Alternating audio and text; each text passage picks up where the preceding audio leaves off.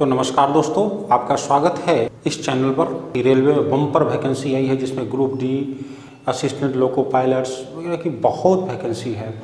एक करोड़, डेढ़ करोड़ के आसपास के इसमें अप्लीकेशंस आएँगे। तो कंपटीशन उतना ही टफ हो गया है। लास्ट ईयर के ग्रुप डी या जो असिस्टेंट लोको पायलट्स के जितने भी पेपर्स हैं, उसका मैंने अध्ययन किया है, उसमें पेपर्स बहुत आसान है। लेकिन जो ऑप्शंस होते हैं, वो कन्फ्यूजिंग होते हैं। क्वेश्चन सीधा रहेगा, लेकिन उसके ऑप्शन कन्फ्यूजिंग होंगे ताकि आप उसमें कन्फ्यूज़ कर जाएँ। तो उन कन्फ्यूज़न से बचने के लिए एक उपाय मेरे पास है कि आप हमारे साथ बने रहें। हम आपको लगातार वीडियोस के माध्यम से साइंस के जितने भी चैप्टर्स हैं टॉपिक्स हैं, जो कि ज़रूरी है, वो हम बताते रहेंगे। आप केवल हमें वॉच करते रहिए। ठीक है? तो आइए हम बात करते हैं Newton's law of motion first Newton's first law of motion क्या कहता है? यह बताता है कि अगर कोई वस्तु विरामावस्था या एक समान चाल से चल रही है तो वह उसी स्थिति में तब तक बनी रहेगी जब तक कि कोई बाह्य बल लग करके उसमें अवस्था परिवर्तन करने की चेष्टा न करे या अवस्था परिवर्तन न कर दे। इसका मतलब यह हुआ कि कोई वस्तु विरामावस्था में है तो विरामावस्था में ही बनी रहेगी। और अगर चल रही है तो वो चलती ही रहेगी, जब तक कि उस पर कोई बाह्य बल न लग करके, आरोपित होकर के उसकी अवस्था में परिवर्तन कर दे या करने की चेष्टा न करे, तब तक वो चलती रहेगी। इसे ही Newton's first law of motions के नाम से जानते हैं। समझ गए होंगे? इससे दो तरह की चीज़ें निकल के आती है। दो मैटर्स जो हमें समझ में आता है। एक सबसे पहला बल, जिसको हम इंग्लिश में फोर्स के नाम से जानते हैं, और दूसरा जड़त्व। जिसे हम इनर्सिया के नाम से जानते हैं। ये दो चीज़ का डिफिनीशंस अगर देखा जाए, या दो चीज़ का concept Newton's first law of motion से मिलता है। आप ये जानते होंगे, हो सकता है बहुत लोग नहीं भी जानते हों कि जो फिजिक्स के फादर हैं, वो न्यूटन कहे जाते हैं। Father of physics is Newton's और न्यूटन्स का जो सबसे महत्वपूर्ण नियम है वही तीन न्यूटन्स लॉ ऑफ़ मोशंस के नाम से जानते हैं, जिसे जिसमें तीन नियम है फ़र्स्ट लॉ सेकेंड लॉ और थर्ड लॉ पहला नियम की बात चर्चा कर रहे हैं, जिससे बल की परिभाषा मिलती है। तो बल हमने चर्चा किया कि बल क्या है? बल वह कारक है जो किसी वस्तु पर आरोपित होकर उसमें अवस्था परिवर्तन करता है या करने की चेष्टा करता है।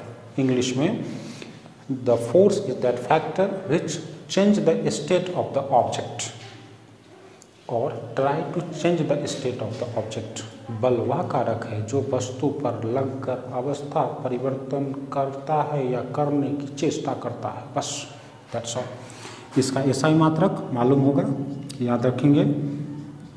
न जाने कितने बार पूछा जा चुका है। ज़रूरत तो क्या है?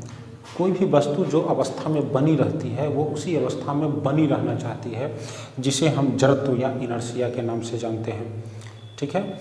जैसे अगर कोई वस्तु स्थिर है तो स्थिर रहेगी अगर एक समान से चल रही है, चल रही है तो चलती हुई रहेगी।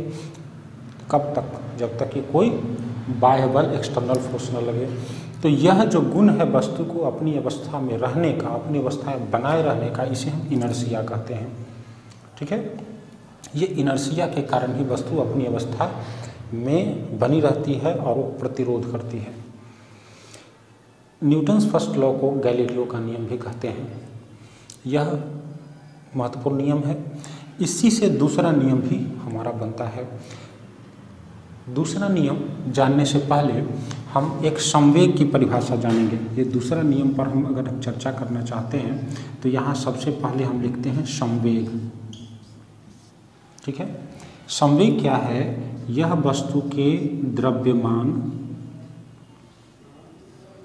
और वेग, के गुणनफल को संवेग कहते हैं।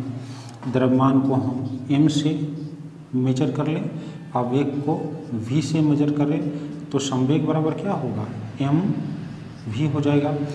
अगर इसका मात्रक देखा जाए तो मास को kg से, और वेग को मीटर पर सेकेंड से हम मेजर करते हैं। तो इसका मात्रक क्या होगा? Kg metre per second. यह संवेग का मात्रक है।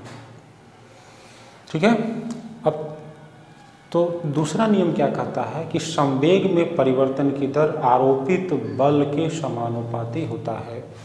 संवेग में जो संवेग में जो परिवर्तन की जो दर होगी, वह आरोपित बल फोर्स के समानुपाती होगा। मतलब यह कि संवेग में परिवर्तन उतना बड़ा होगा जितना बड़ा बल होगा, या बल जितना ही आरोपित करेंगे, उतना ही संवेग में परिवर्तन होगा। मतलब यह कि जितने ज़्यादा ज़ोर से हम धक्का देंगे, वस्तु में उतनी ही गति पकड़ेगी, या जितनी स्पीड में वस्तु आ रही है, उतनी ही धक ज़ोर से धक्का दे करके उस वस्तु को रोका जा सकता है। मतलब वस्तु में जो स्टेट में परिवर्तन हुआ, उसकी अवस्था में जो परिवर्तन होगा, वो जितना ही बड़ा होगा, उतना ही बल हमको चाहिए। बस सीधा सीधा न्यूटन्स का दूसरा लॉ यही कहता है। ठीक है? अब तीसरे लॉ की बात करते हैं। तीसरा लॉ क्या कहता है? तीसरा लॉ कहता है कि किसी भी क्रिया के बराबर और विपरीत प्रतिक्रिया होती है। सिंपल सा है। Every action has equal and opposite reaction every action has equal and opposite reaction मतलब यह सिंपल भाषा में कि प्रत्येक क्रिया के बराबर और विपरीत प्रतिक्रिया होती है। अगर हम एक मुक्का यहाँ बोर्ड पे लगाते हैं तो निश्चित रूप से बोर्ड भी हमें एक मुक्का के बराबर फोर्स लगाता है। अगर हम ज़मीन पर पैर पटकते हैं तो ज़मीन भी हमें उतनी ही ताकत से ऊपर की तरफ़ धक्का देती है। यह Newton's law of third motion का है। यह न्यूटन के तृतीय गति के नियम से ये हम जानते हैं।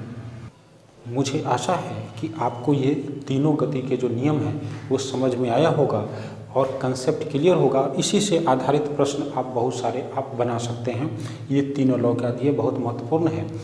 आप निश्चित रूप से इसको कंप्लीट करके जाएँगे और वहाँ पर बिल्कुल सही आंसर टिक लगाएँगे। बहुत सारे क्वेश्चंस जो लास्ट ईयर्स में देखे गए हैं, उसमें से कुछ इस तरह के प्रश्न थे कि बाइक सवार है, वह बाइक सवार रुका हुआ है और एकाएक बाइक चलती है तो वो पीछे की तरफ़ झुक जाता है। ऐसा क्यों?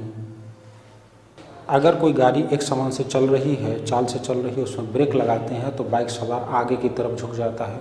ऐसा क्यों? अगर कंबल पर डंडे की चोट करते हैं तो धूलकन झरने लगते हैं। ऐसा क्यों? बंदूक चलाने वाला जो आदमी होता है तो बंदूक से गोली निकलते ही वो पीछे की तरफ़ उसको धक्का लगता है। ऐसा क्यों? ये चार जो प्रश्न हैं, इसके जवाब आपको न्यूटन्स लॉ ऑफ़ मोशन से मिलेंगे। ऊपर के जो तीन प्रश्न है, उसको देखते हैं पहले कि अगर कोई बाइक सवार यहाँ पर है, कोई बाइक सवार है एका एक बाइक यहाँ आगे की चलने, तरफ़ चलने लगती है तो बाइक के साथ जो उसके बॉडी का जो पोर्शन टच है, वो तो मोशन में आ जाता है, लेकिन ऊपर वाला मोशन में नहीं आता है जिसके कारण वो पीछे अपनी स्थिति के कारण, जड़त्व के कारण वो अपनी स्थिति में ही रहना चाहता है जिसके कारण वो पीछे की तरफ़ मुड़ जाता है। अगला जो प्रश्न हमने लिया है कि कोई गति से कर रहा है, कोई एक समान चाल से चल रहा है, आगे ब्रेक लगता है तो क्या होगा? ब्रेक लगने के साथ साथ जो बाइक है, वो बाइक से सटा हुआ जो पोर्शंस है, वो तो विराम अवस्था में आ गया, लेकिन जो ऊपर वाला है, वो जड़त्व के कारण मोशन में चल रहा है। और इस मोशन के कारण वह आगे की तरफ़ झुक जाता है। यही गति के जड़त्व के कारण वह आगे की तरफ़ झुक जाता है। ठीक है? अब हमने बात की कि धूल कण क्यों झड़ते हैं? कंबल को पीटने पर। जब कंबल को हम पीटते हैं, मान लीजिए सपोज़ करिए ये कंबल है, इसको हमने डंडा से पीटना चालू कर दिया तो मोशन किसमें आ गया? कंबल में। लेकिन धूलकन तो अपनी जड़त्व के कारण वैसे ही पड़ा है तो धूलकन जब जड़त्व के कारण वैसे ही पड़ा हुआ है तो वो मोशन में नहीं है तो वो झड़ जाएगा। जब भी हम कंबल को पीटते हैं तो हम गति देते हैं कंबल में मूवमेंट होता है कंबल में। लेकिन जो उसमें धूलकन है, वो अपनी जड़त्व के कारण, अपनी स्थिति के कारण, अपनी जड़त्व के कारण वो धूलकन अपनी स्थिति बने रहता है और वो बाहर की तरफ़ निकल जाता है, वो झड़ने लगता है। इसीलिए जब कंबल को पीटते हैं तो धूलकन निकल आते हैं। यह जड़त्व के कारण होता है।